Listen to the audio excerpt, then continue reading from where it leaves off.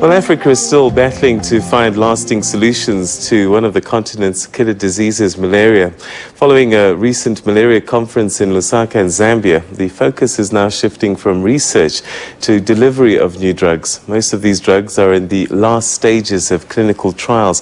And one of the organizations in the delivery of anti-malarial drugs is Medicines for Malaria Venture. And to tell us a little bit more about the meeting in Zambia, we're now joined by Dr. Chris Hentschel, who's President and Chief Executive Officer for Medicines for Malaria Venture. Thank you very much uh, for joining us on the program and welcome to you. Good morning, Peter. Tell us a little bit about uh, what went on at the conference in Zambia and uh, some of the outcomes. Well, I think one of the main things that went on was exactly what you were saying in your introduction, that we were trying to move the agenda on R&D, which is what we've been mainly doing with uh, pharmaceutical industry to thinking about what happens when we actually have the new drugs. And you have to do a lot of preparation, actually about two years worth of planning before you introduce a new drug. So what are the challenges typically then that one faces before a new drug actually ends up in the hands of uh, uh, patients?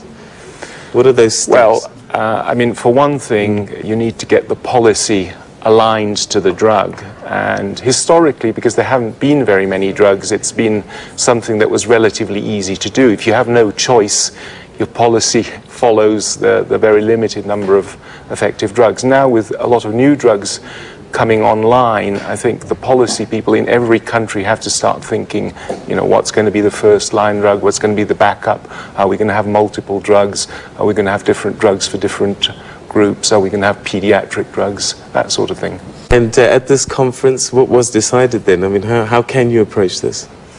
Well, I think what was decided is that we need to have a sort of increased capacity by all the players. We need to have increased capacity in the national malaria programs in the countries so that they can get ready for the introduction of new mm. drugs.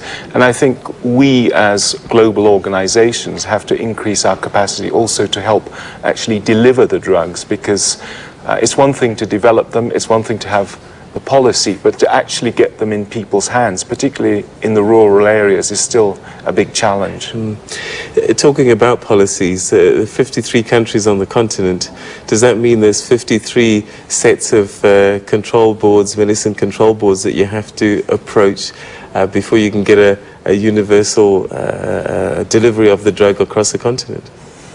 Well, the problem is, is really sort of in, in the sub-Saharan mm. Africa North Africa, and even South Africa doesn't have that much of a problem, KwaZulu-Natal and North. So you're really talking about that belt mm. above South Africa right up to the Sahara. And yes, because there are so many countries and so many different uh, formal organizations you have to deal with, that's one of the reasons why it's a, it's a very complex issue, one of the reasons why you need a lot of time. These drugs, are they ready or are we planning for drugs that might be ready? Well, actually, I mean, there is a pioneer drug called Coartem, which is already ready, is already being used. And there are some new formulations of that pioneer drug, and then every two or three years we expect some new ones to come online. Now, that might not seem like a dramatic increase, but that's from a base of sort of nothing happening for 10 years at all. So that mm. is quite a big increase. We've been struggling to find uh, real solutions on the continent. It's been killing so many people. This new batch of drugs uh, that are coming through, um, uh, can we be sufficiently excited that we, we're really making major breakthroughs in terms of the fight against malaria? Well, uh, having effective drugs, affordable effective mm. drugs, is a key part of the whole program. It's not the only thing. You have to prevent malaria as well mm. as treat it. But I think the one thing that has been shown absolutely compellingly is that when you introduce affordable, effective drugs into national programs, you have a very major effect. And trying to get that major effect from just a small area to throughout sub-Saharan Africa, that's still a huge challenge. Mm. And I think uh, you know, ask me the question in a few years' time and I'll tell you whether we've succeeded. All right, so the concern at the moment is uh, making sure that we can deliver these drugs. Uh, capacity, we've talked about. On the, on the, the receive cells, what can they do for you to better prepare themselves? Well, I think for one thing, uh, it, it's great to have people who are flexible and, and, and willing to think about the introduction of, of innovation. Uh, as I said, that hasn't historically been the case. So historically, what's tended to happen is that there's been advice from, from the World Health Organization, a policy was set in place, and that, that policy would be set in place for possibly decades. Now, we have to have a, a, a much faster system of bringing in new policies and bringing in choice. See, there really, apart from the private market, there really hasn't been choice so far. At this conference, then, did you have uh, people who are able to influence policy present to hear some of these concerns? Well, we certainly had, I mean, as you mentioned, the, the meeting was in Zambia. We certainly had representation from all of the departments in Zambia. Uh, but Zambia is one country. We need contact with many other countries as well.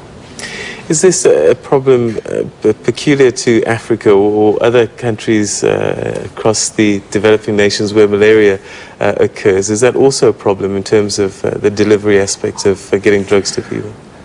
Well, it, it is a problem in, in Southeast Asia to some extent, but, but actually Southeast Asia has, is, I would say, several years advanced of Africa. So even though they have quite a big problem, they have worked out how they deliver medicines, uh, and, and actually they're having great success. So Africa mm. remains the, the sort of mm. final area where one's really trying to make progress with malaria. And mm. some people think that about 90% of the global total is in Africa, in sub Saharan Africa.